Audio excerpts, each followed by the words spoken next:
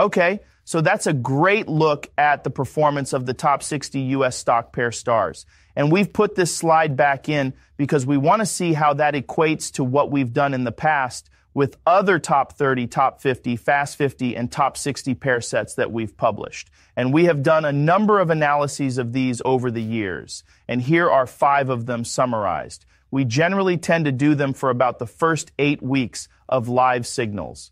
And as we did above for the first nine weeks, we also do them a bit quicker if we've had extraordinary performance. And in these two cases, there was extraordinary performance. We can see here 11% in the first eight, 11% in the first eight, 17% in the first eight, 9% in the first five, 12% in the first three. So we're at 9.0% in the first nine weeks. So we've done better in the past, but we're still doing pretty well.